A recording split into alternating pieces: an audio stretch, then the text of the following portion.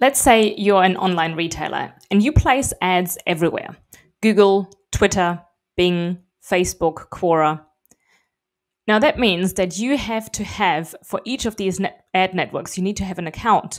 And if you want to look at all the data all at once, that's not going to be very easy. Now, it might be if you use Funnel.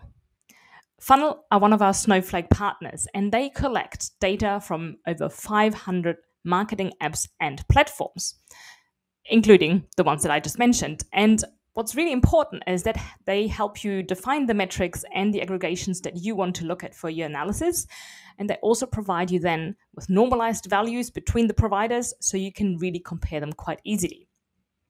Now, once you have decided what data you want to bring in and you've configured that and you've chosen the metrics you're interested in, Funnel can then share that data directly with your Snowflake account. So every day you have nice and updated data, data available uh, for you to analyze. Now, let's look at a quick demo. Okay, so let's look at the providers first. Let's bring in a list of the traffic sources that you might be working with. And then we're interested in a number of different metrics. For example, the clicks and our cost, and also our cost per click. Now, next step is well, let's have a look at who is, you know, maybe the most efficient or least efficient um, provider when it comes to cost per click. So Bing certainly comes out on top as being the cheapest when it comes to cost per click. And when we just look at where we spend the most money, well, we're spending quite a bit um, there at Google. So, moving on from that, we don't want to just stop this analysis right here because if you're a retailer, the most important question might not be cost per click, but actually how much revenue you're generating for each click. So, none of that data is actually in that ad revenue data that you're that you're getting because they don't know what your revenue is.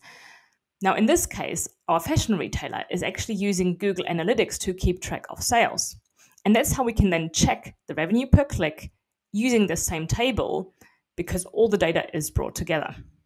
So let's quickly um, duplicate this table. And let's bring in some other metrics as well. So we have our cost, we have our clicks, we have our cost per click.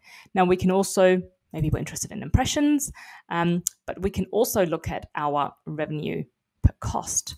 So looking at how much does it actually cost us or yeah, how much revenue, sorry, are we generating uh, compared to the cost? And when we then look at that, well, Bing not only has the lowest cost per click, but also actually for us here $24 generates the most revenue when we factor in that cost that we're incurring. Now, don't take these results for granted. It's always best to try this out yourself. And this is just one sample fashion retailer, and your results will be different. Now, depending, of course, on your products, your campaigns, and your optimization. That's why it's really important to get your data in your hands, and Snowflake and Funnel are ready to help you with that. Now, to learn more, check out our case studies with Funnel.